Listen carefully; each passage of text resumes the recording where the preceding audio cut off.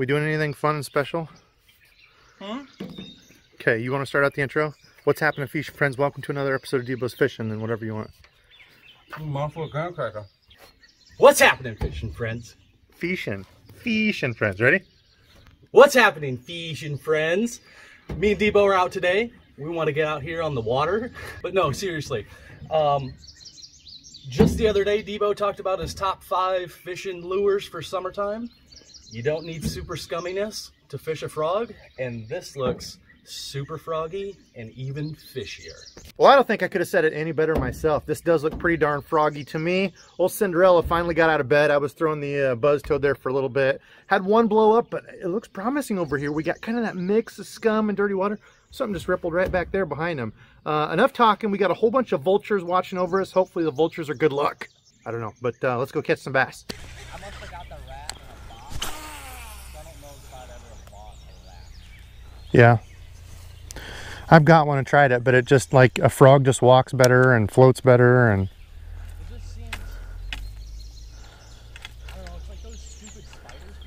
yeah. Yo. Oh my gosh. I don't know if I got him or not. I'm dragging the whole branch with it. Ah! Huh? That looks like a Oh, this is why you have the 65 pound braid. Oh, he's still on there. Uh. Uh, huh? Nope, there we go. Broke that branch off.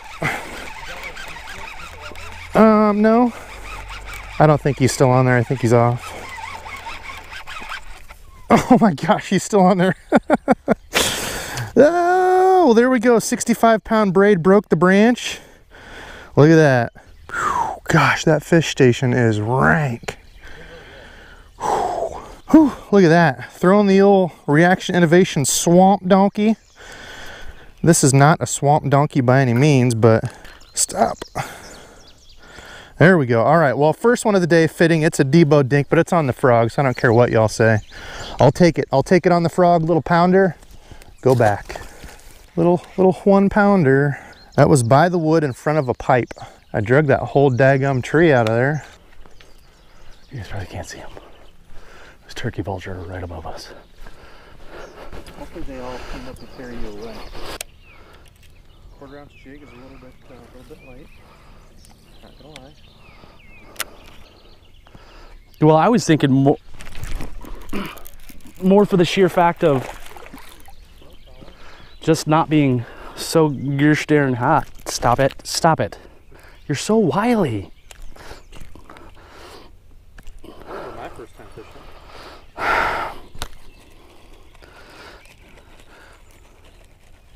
Your dad outfished you then too, didn't he? Thanks, buddy. See you later. You know what I like? When you get that sweat that runs down into your eye after you would put uh, DEET in on your on your head, it doesn't burn at all. Squabble a douche. Did you hear it?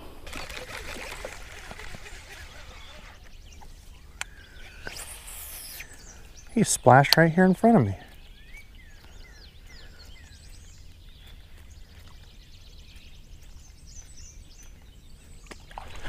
Got him.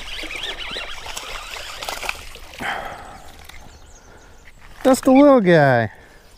He was eating.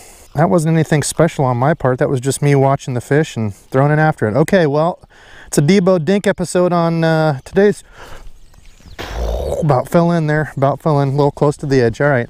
Another one, you don't even go a pound. Thanks for eating the frog, though. Whoa. Some did something right there.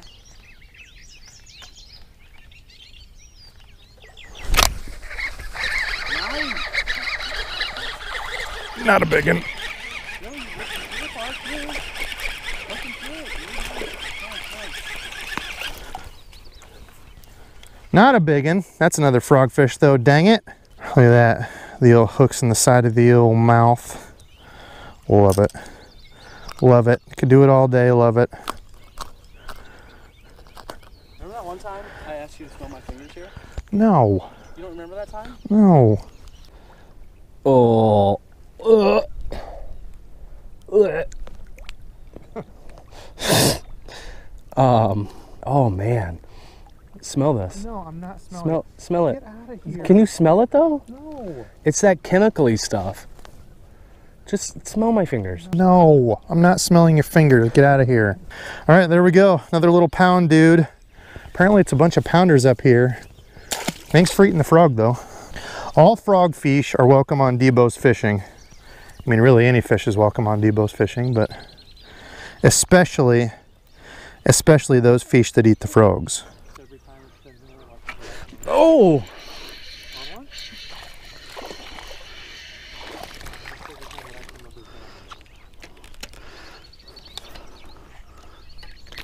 Stop it. Stop it. You're all hopped up. My, yep. Look at how weird he looks. It's like he's weird. Hey, dude, everybody's an individual.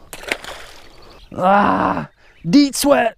And they grow super fast, kind of like those, what are those, uh, those snakes?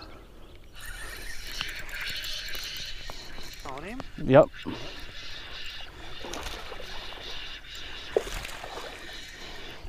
Alright, here's we found a few. He's deep. You gotta say he's deep. He's Pale. light, pale. He's pale ale. See, you, buddy. Oh my god! I'm sorry, dude. There's a, a rock right there. That was. me- Oh, Randizzle with those fire fire fish releases. I don't know what that means. What's a fire fish release? Like fires like often. Start with uh, sarcasm. Oh. Can you stop saying fire? Why? Because it's strong. Fire is what all the all the uh, all the youth of today say. And then they also say bruh. Bruh, that was fire. I literally every time I I put something on like a wide gap hook, I always forget which way I need to pull the hook out first. Well, I know that's always the belly, but I'm like, yeah, it's the belly, and then I talk myself out of it.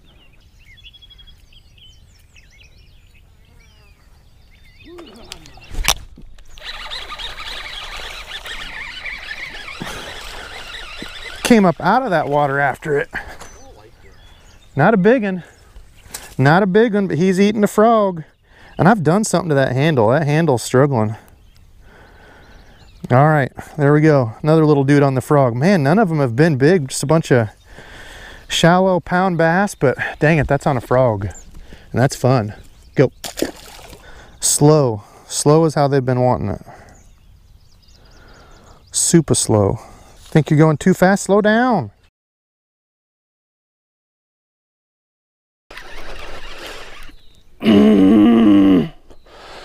What was that thing that you were talking about earlier today?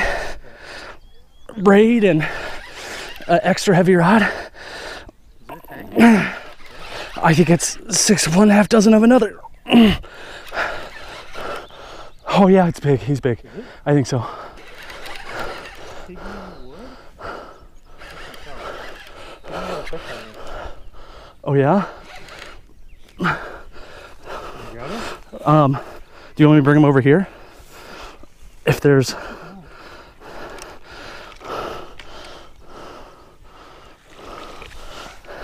There's no fish, is there?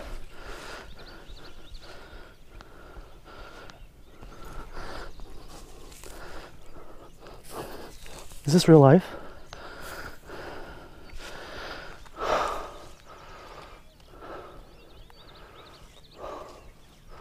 I wonder where I lost him at.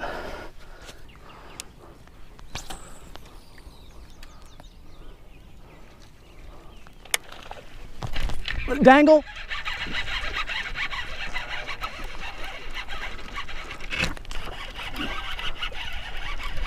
Did you see it?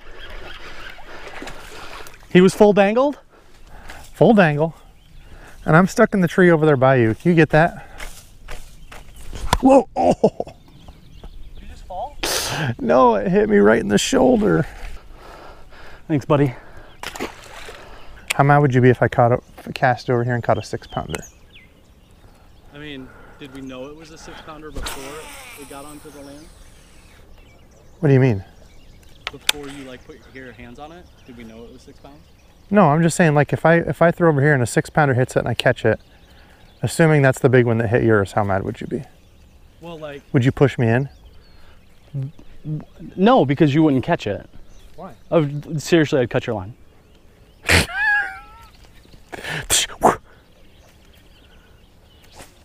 My arm is burnt.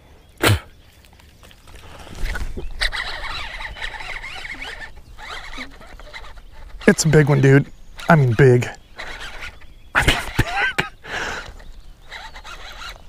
I mean big. No, it's not. Ah, but it's got a bunch of stuff with it. Gosh, this is why you throw the 65 pound braid because you have 10,000 pounds of slop with it.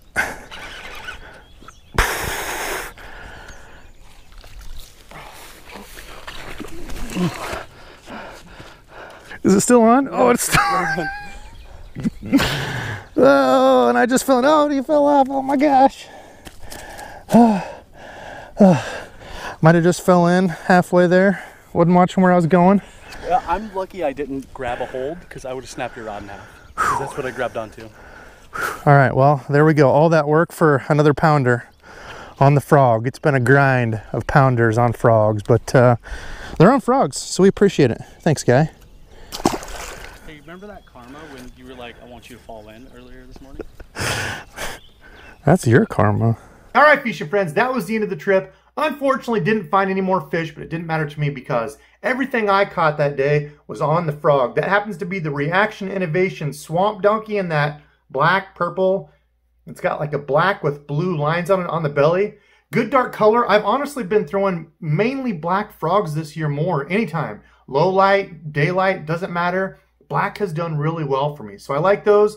Um, they look very similar to the Sprinker frogs, and these are much cheaper. I think they're only like eight bucks. So good frog. I've had good luck with it. I'm enjoying those. I am lucky and thankful I can still get out fishing right now. There's a lot of people that can't do that right now. So anytime I'm above ground and I can still get out and fish, it's a good day. Catching fish, dinks or not, that's just an added bonus. Okay, so the combo, that's still that seven foot four heavy Lew's Speed Stick, $80 rod. So far it's been doing pretty well. Uh, I'm gonna be doing a full review on this. Uh, as you saw, I pulled in a whole tree on that first fish. Rod didn't snap or anything, thank goodness. It was a very big branch, but um, so far it's held up well as a budget frog rod. Uh, I've liked it. Again, the Revo X, I'm gonna be doing a, uh, a review on this too because as you've noticed the past few videos, the handle was clicking pretty bad. Um, I figured that out. and We're going to talk about that in my review because I fixed it and it hasn't done it since. So the braid, 65 pound Calyx braid. Uh, it's a very affordable braid, not very expensive. One of you subscribe Fishing Friends sent it to me. Uh, and I've honestly been pretty uh, pretty amazed with it so far. I haven't had any breaking issues, fraying issues. Um, castability's been fine for a, a very budget-friendly braid. It's done well. So I'm going to do also a video on that, comparing a few different braids and stuff. I get questions on that. I've got a lot trying to come down the pipe. I'm going to try to be doing three, maybe four videos a week for you all, trying to get some more content out because, uh, well, I can. And I've had a bunch of people passing on good ideas for videos. So if you've got a specific video that you really want to see, tackle bag's going to be coming soon. That one's like a year overdue. I've got a few others that people have been asking for. If there's a specific video that you want to see, comment below and let me know. But otherwise, tonight's subscribe fishing friend has been Wilkie. Ben, thank you very much for watching and supporting. Everybody else, thank you all. Again, my channel's done way more than I thought, so it's all because of you. I appreciate you all, but I've got to edit, so that's enough for me. Thank you all for watching, and until next time.